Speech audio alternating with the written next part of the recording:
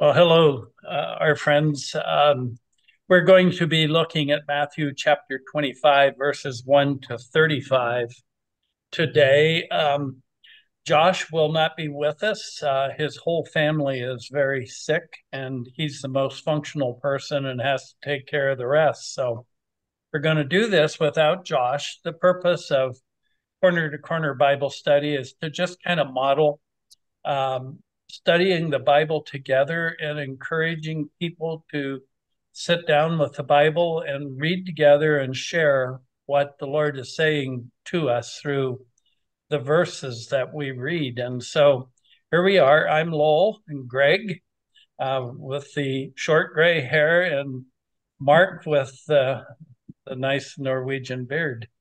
And so um, it's it's good to have you guys on board and hope that um, hope that you will join in uh, reading with us and um, thinking over these things that have been preserved to us through the Apostle Mark, Mary, the Apostle Matthew. I'm sorry. There you go. And so, chapter 26, 1, Greg, could you read through chapter verse 13? I will do that. So I'm Greg, and uh, we're going to, re I'm reading out of the New King James Version. Verse 1 Now it came to pass when Jesus had finished all these sayings that he said to his disciples, You know that the two days, you know that after two days is the Passover, and the Son of Man will be delivered up to be crucified. Then the chief priests, the scribes, and the elders of the people assembled at the palace of the high priest, who was called Caiaphas and plotted to take Jesus by trickery and kill him. But they said, Not during the feast, lest there be an uproar among the people. And when Jesus was in Bethany at the house of Simon the leper, a woman came to him having an alabaster flask of very costly, fragrant oil, and she poured it on his head as he sat at the table. But when his disciples saw it, they were indignant, saying, Why this waste? For this fragrance, this fragrant oil might have been sold for much and given to the poor. But when Jesus was aware of it, he said to them, Why do you trouble the woman? For she has done a good work for me. For you have the poor with you always, but me you do not have always. For in pouring this fragrant oil on my body, she did it for my burial. Assuredly, I say to you, wherever this gospel is preached in the whole world, what this woman has done will also be told of her, told as a memorial to her. Mark, would you do the next section, please? Uh, certainly, I'm Mark, and I'm also reading from the uh, New King James uh, translation, uh, chapter, excuse me, verse 14. Uh, then one of the twelve, called Judas Iscariot, went to the chief priests and said, What are you willing to give me if I deliver him to you? And they counted out to him 30 pieces of silver. So from that time, he sought opportunity to betray him. Now, on the first day of the feast of the unleavened bread, the disciples came to Jesus, saying to him, where do you want us to prepare for you to eat the Passover? And he said, Go into the city to a certain man and say to him, The teacher says, My time is at hand. I will keep the Passover at your house with my disciples. So the disciples did as Jesus had directed them, and they prepared the Passover. When evening had come, he sat down with the twelve. Now, as they were eating, he said, Assuredly, I say to you, one of you will betray me. And they were exceedingly sorrowful, and each of them began to say to him, Lord, is it I? He answered and said, He who dipped his hand with me in the dish will betray me. The Son of Man indeed goes just as it is written of him, but woe to that man by whom the Son of Man is betrayed. It would have been good for that man if he had not been born. Then Judas, who was betraying him, answered and said, Rabbi, is it I? He said to him, You have said it. And I'm Lowell, and I'll be reading from New American Standard Translation, verse 26 to 35. While they were eating, Jesus took some bread, and after a blessing, he broke it and gave it to the disciples and said, Take, eat, this is my body. And when he had taken a cup and given thanks, he gave it to them, saying, Drink from it, all of you, for this is my blood of the covenant, which is poured out for many for forgiveness of sins. But I say to you, I will not drink this fruit of the vine from now on until that day when I drink it new with you in my Father's kingdom. After singing the hymn, they went out to the Mount of Olives. Then Jesus said to them, You will all fall away because of me this night, for it is written, I will strike down the shepherd, and the sheep of the flock shall be scattered. But after I have been raised, I will go ahead of you to Galilee. But Jesus said to him, Even though all may fall away because of you, I will never fall away. Jesus said to him, Truly I say to you that this very night, before the rooster crows, you will deny me three times. Hmm. Peter said to him, Even if I have to die with you, I will not deny you. And all the disciples said the same thing too. Mm. And so, um, just to let you know, um, we do not study commentaries and go into an intense research before um, doing these corner to corner studies.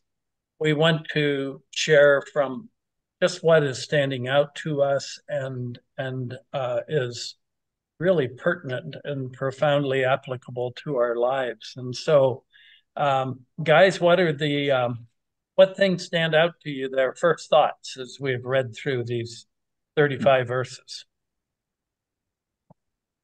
Wow.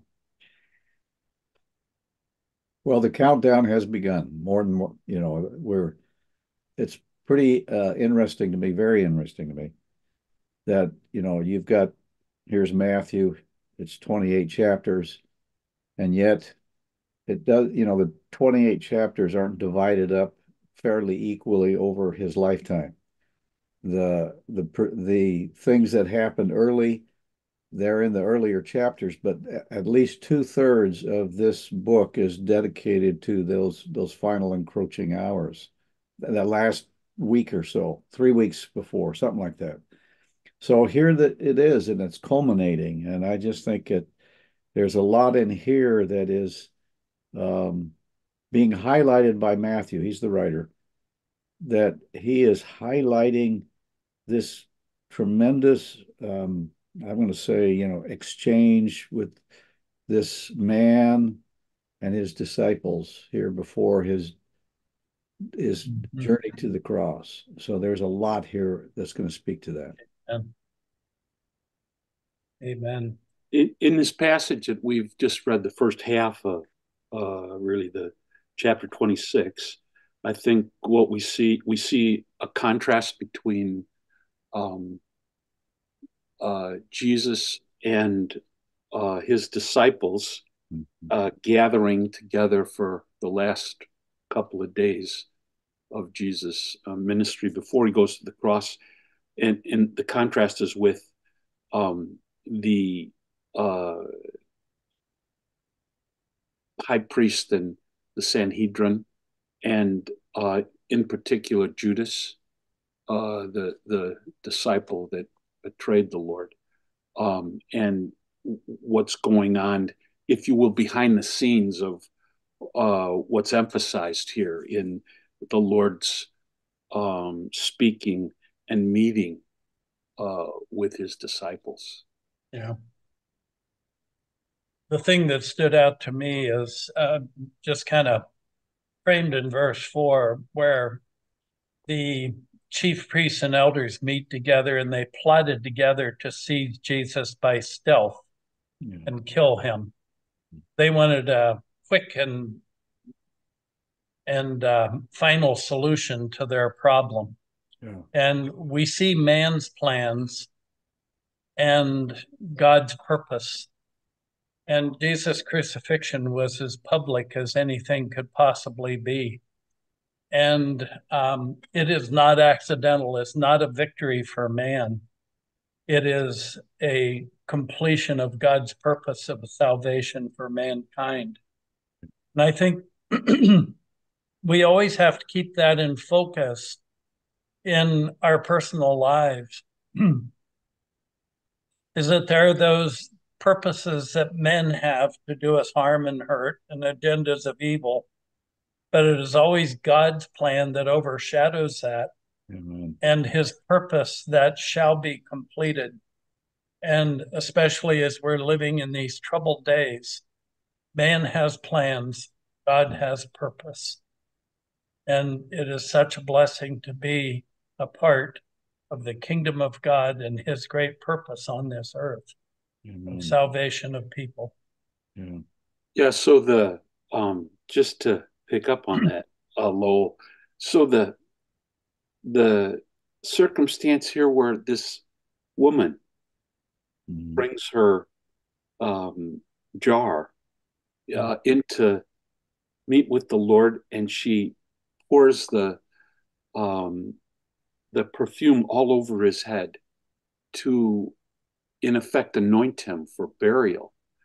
Um, and it's the contrast is there's someone among the disciples, likely uh, Judas, but somebody says, "Well, come on, this doesn't make sense. We could we could take this uh, oil, this fragrance, and sell it and give it to the poor. Yeah. It, you know why why are we doing this?" And the Lord um, stands behind the gal and notes that and confirms that she understands God's purpose in this uh, circumstance and at this very time. And she's in tune with the Lord's Spirit.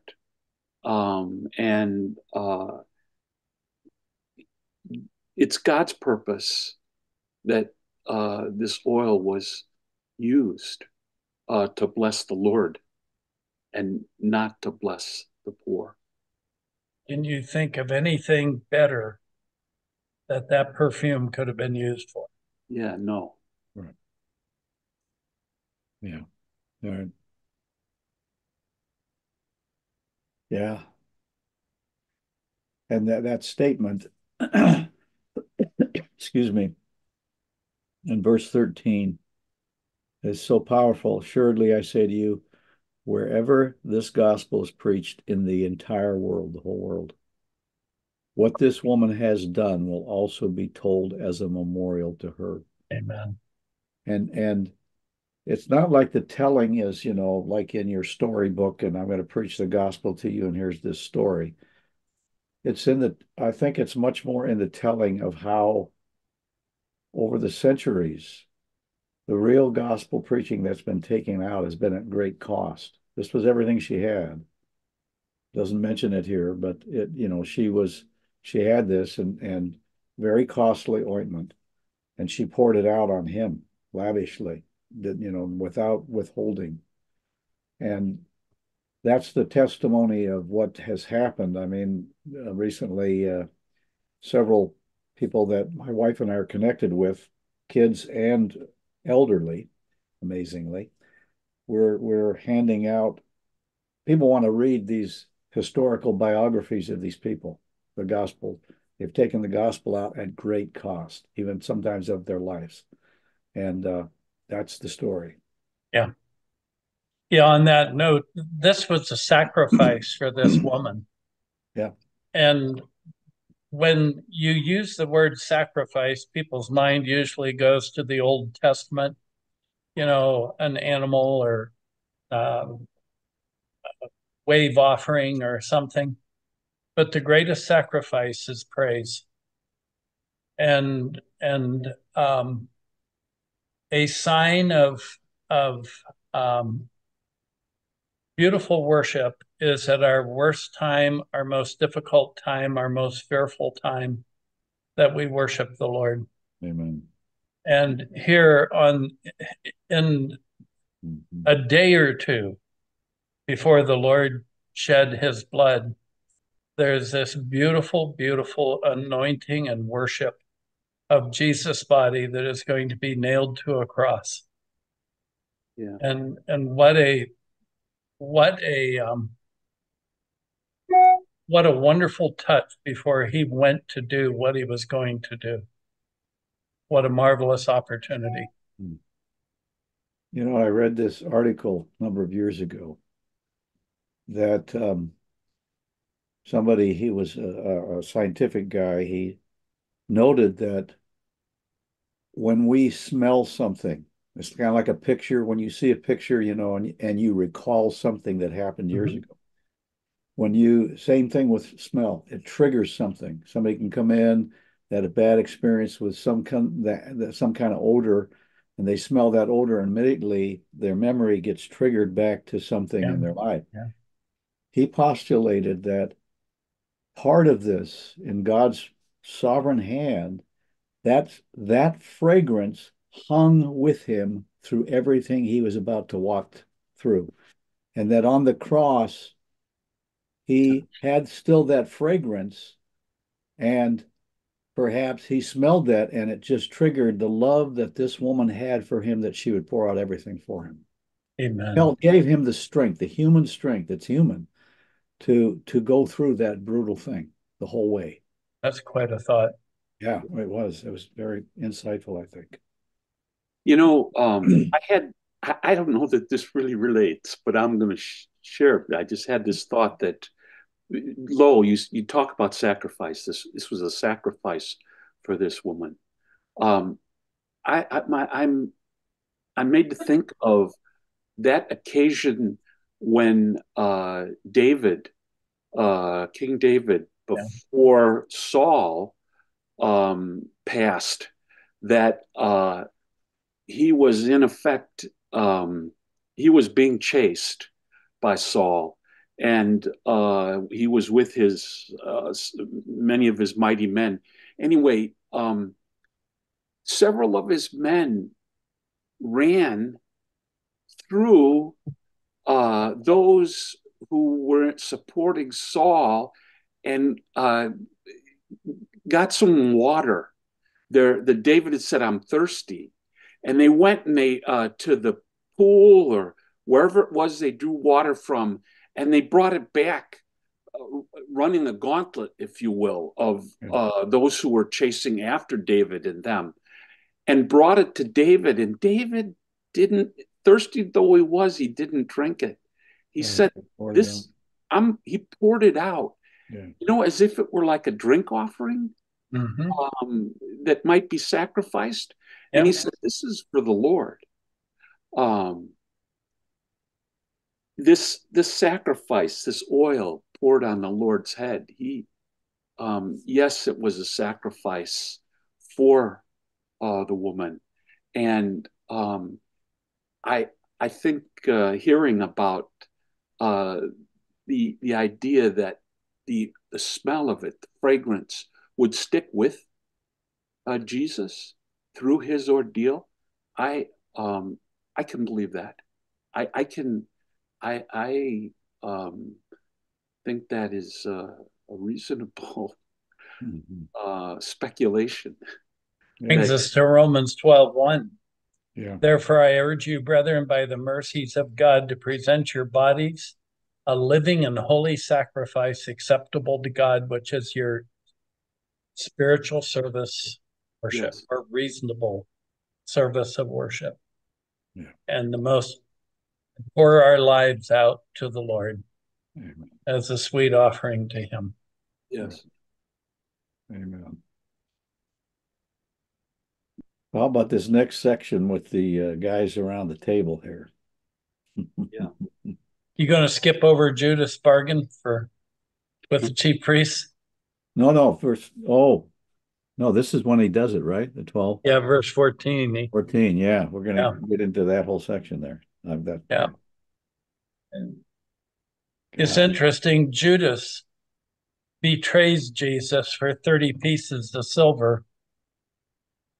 And in that context, the Lord is taking the bread and the cup and as manifesting his uh, payment for us. Judas got 30 pieces of silver for betraying Jesus. For us, Jesus gave us all. One is getting and losing, the other one is giving and winning. Mm. hmm Yeah. You know, I, I, it's hard to enter into the mind of what was going on with uh, Judas. Yeah. Uh, you know, you know, I can understand if it was just some kind of um, notoriety guy that was up on a stage and was flashy and, you know, okay, I admire him and I'm going to, you know, follow after him. But he walked with Jesus, you know, it must have been two plus years at least. And, you know, to watch him in, you know, what he was doing, what he was saying, and, and still, um, yeah, I still try to wrestle with that. So, yeah, we, I think we, I don't know, I, I wrestle with all, with the ideas that are kicked around about, well, what prompted Judas? Was he, um, did he think he could prompt Jesus to yeah. uh, declare himself the king in a way that he would then turn and do battle with the Romans and lead the Jews in rebelling? Uh, um, you know, you try to, I, I don't know, you, you want to uh, figure it out. And I, I, I, there's no figuring it out. He, he except to you know we land on what the lord says about about it that mm-hmm. it would have been better if he'd never been born i think you hit on something there though mark many people i scratch many some people um, decide to enter into christian community or even become a christian thinking that is some kind of a fairy tale thing that I accepted Jesus and they all lived happily ever after. They begin to see the writing on the wall that there are going to be problems, there are going to be costs, and things are not going to work out as we had anticipated. And so you you pulled the parachute cord and bail out. Mm-hmm. And um, maybe Judas had some expectations of grandeur that were going to play out in his life. And when he began to see the storm clouds gathering and the situation developing into um, opposition to Jesus and that he's going to lose his life, why not jump on that bandwagon? Yeah. Hmm. Mm-hmm. And that makes me think about um, a few years back, I heard uh, one of the underground church leaders from Iran sharing, you know, they he had gone there. This guy had got saved, and he was preaching the gospel, and a lot of people were coming to Christ because of the, you know, kind of uh, the whole thing over there with. Uh, you know the mullahs running everything and being so abusive to everybody and just stealing everybody's money and uh, when the authorities started to notice what they were doing, they went after the Christians, and about three quarters of the Christians abandoned their faith because of the persecution.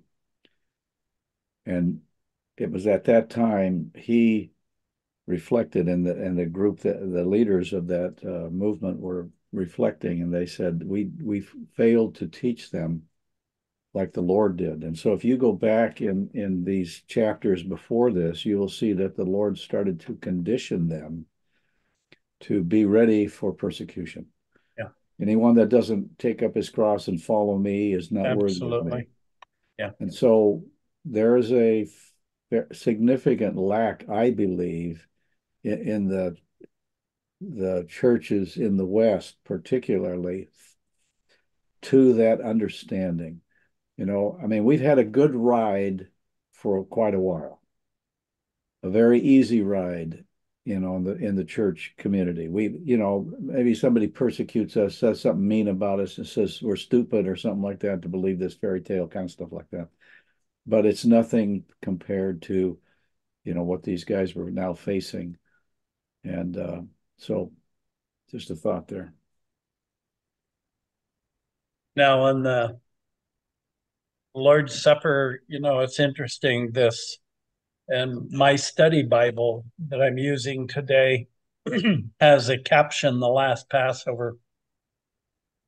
I usually don't pay attention to study Bible captions because they're not scripture, but it's kind of an interesting thought. This is the last Passover. It is. Yeah. It's a fulfillment of what the first Passover was all about yeah. and the destiny that God had for the people of Israel and for mankind is that a lamb would be slain, the Lamb of God, who would take away the sin of the world once and for all, not to be repeated year after year after year.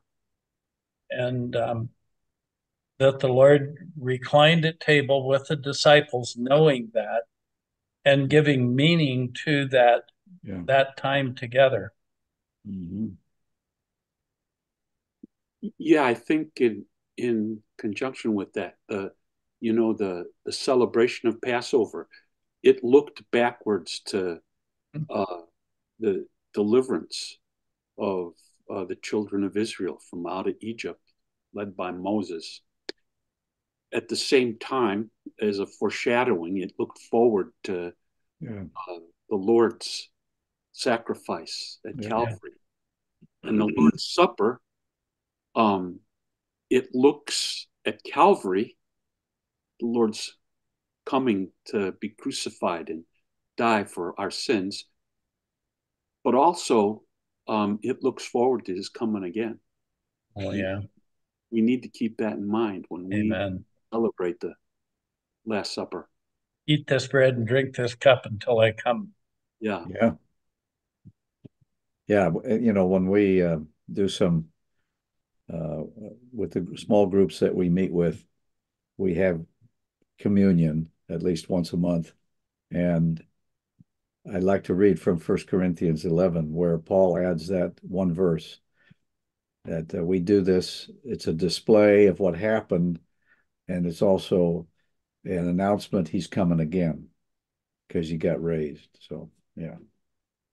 Mm-hmm. Yeah, the Lord said here, I will not drink of this fruit of the vine until I from now on until the day when I drink it new with you in my Father's kingdom. Amen. yeah. So we are going to have a very big um, party beyond anything ever done before. I don't know who's going to cater it. Fish and chips for everybody.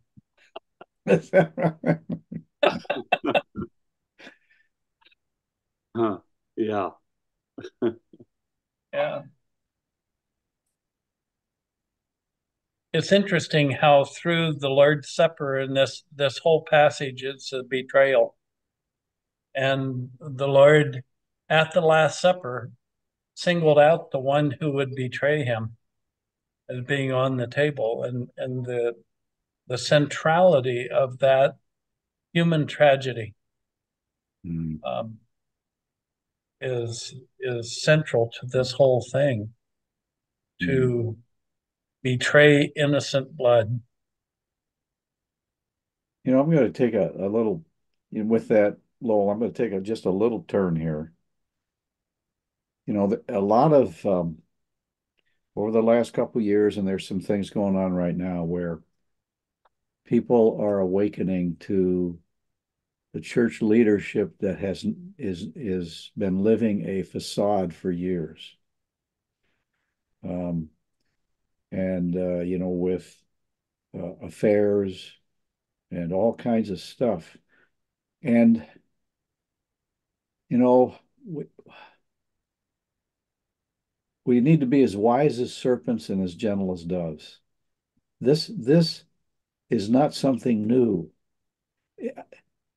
It happened here in our reading, and it's happening today. And I think, again, and I admit my own self. Um, I'm naive with many things. I think, you know, everybody's just nice people, Yeah. but you know, uh, I I should have I should have grabbed this before. I didn't think of it, but uh, one of an author I read years ago, Frank Herbert of all guys, who wrote Dune, uh, which is now out in a movie, but he said it's not power that corrupts. It's the corruption that's already in them, and the power just gives them the opportunity to expose the corruption. And I thought that was very insightful too. You know, it's there.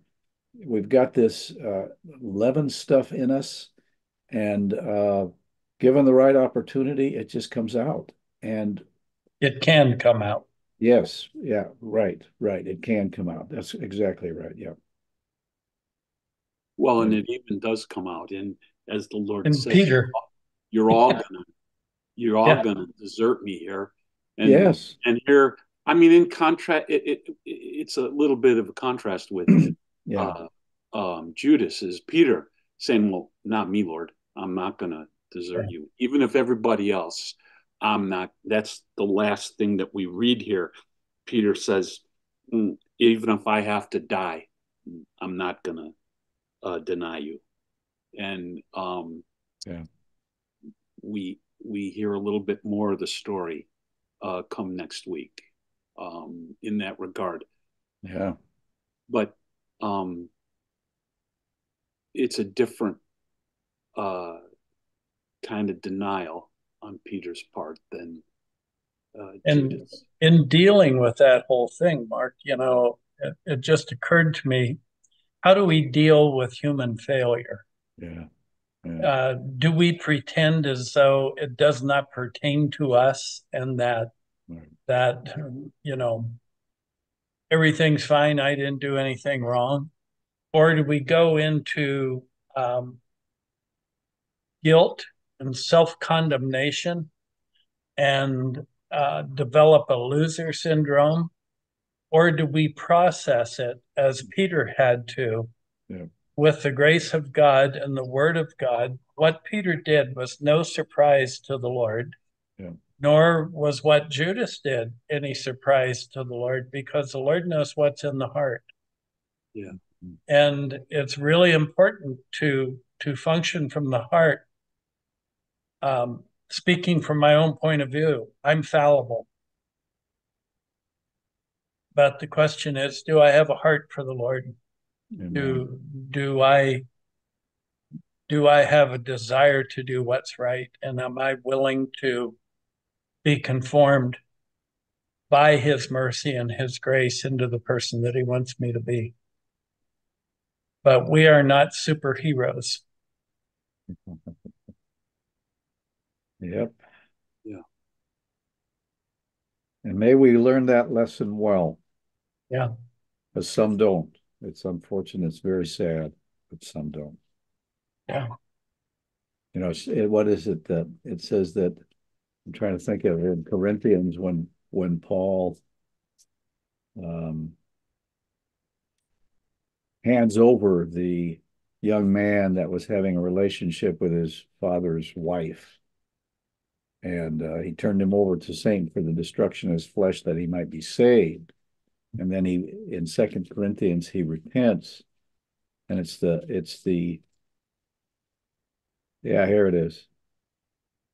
He says, "Now I rejoice." This is in Second Second Corinthians chapter seven. Now I rejoice not that you were made sorry. He's talking to the Corinthian believers, but that your sorrow led to repentance. And I think that's what you just mentioned there. For many were made so for for you were made sorry in a godly manner, so that you might not suffer loss from us in anything. For godly sorrow, godly sorrow produces repentance leading to salvation, not to be regretted.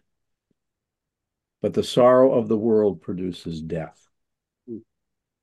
And so, yeah, the, the contrast there again with Judas and Peter, you're gonna we can see it in not only here, but we're gonna see it other places. Yeah, ready for final thoughts yeah, Yeah. mine is this woman who poured the precious perfume ointment upon the body, body of Jesus. She was a small person doing a small thing, and yet she's remembered throughout all of history, recorded in scripture. And so many times we think that we have to be some big hero or a well-known individual in order to to have standing in the kingdom of God.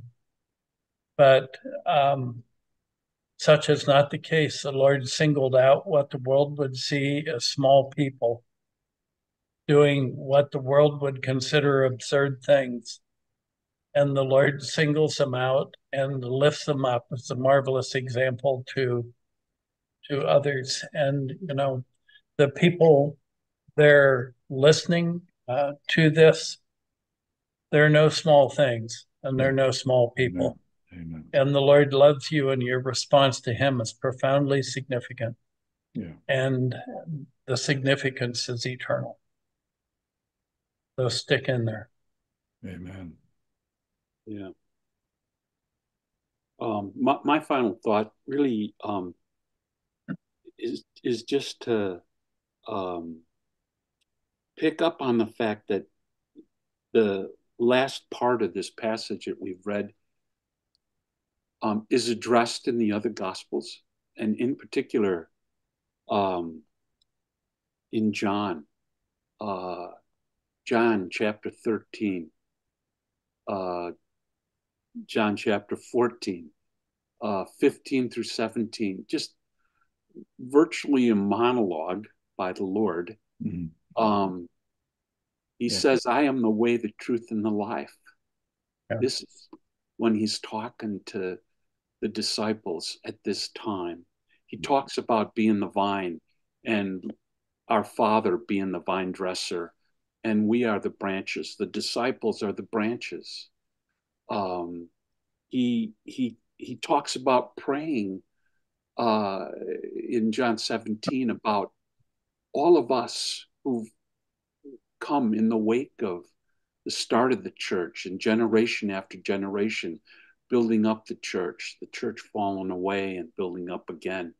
Um, so I, I just, you know, the the the little bit that we read here, and there's there's so much more to it. And the Lord, yeah, amen.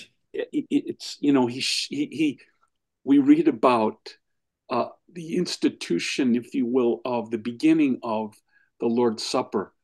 But wow, um, there's there's so much to it, and Amen. it is uh, the Lord is um, hmm. He is a wonderful and um, God, and to Him uh, all the glory. Amen. Amen. Yeah, so I thought that kind of a mixture of you two guys here. Um, what's that little? Where's that? I'm trying to think of that verse exactly. Don't don't despise the day of small things. Something to that effect. You know, like you said, Lowell. You know this.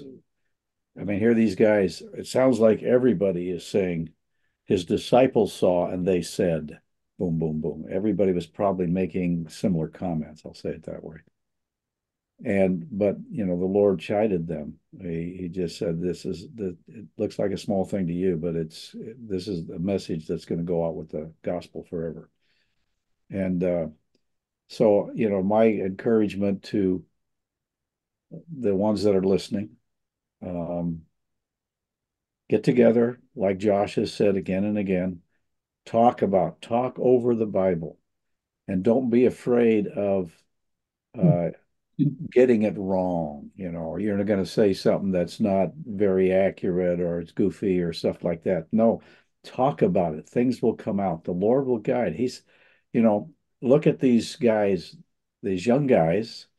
I'm thinking that most of them were in their late teens, maybe early 20s, and they're accompanying this rabbi everywhere, all over. And uh, they are making a lot of mistakes as they go. They're going to make a lot more mistakes as they continue on afterwards.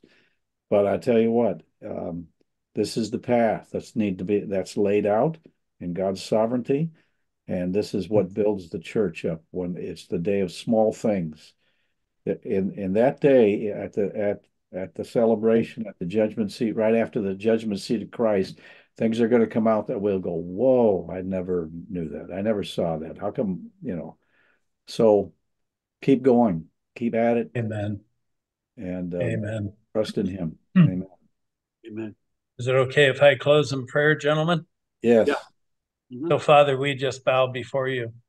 Mhm. And Lord, we see in this passage of a scripture the world's evaluation of the worth of man as 30 pieces of silver. Mhm. But also, we see your evaluation of a human soul, the blood of Calvary. And what a price was paid for our redemption, and what a worth you have placed upon our head. And Lord Jesus, how could we ever thank you for paying the highest price for the lowliest soul Amen. that we may be children of God? Amen. Thank you for what you've done. Yes. And Lord, we pray for Josh and Stephanie and the kids that you would watch over them for good and bring them to health, Lord, and, and guide their steps. Thank you for this time. And pray for the dear people who are listening to and observing this this study, Lord. Just fill them with your spirit and, and whet their appetite for your word. We pray in your name, Jesus. Amen. Amen. Amen.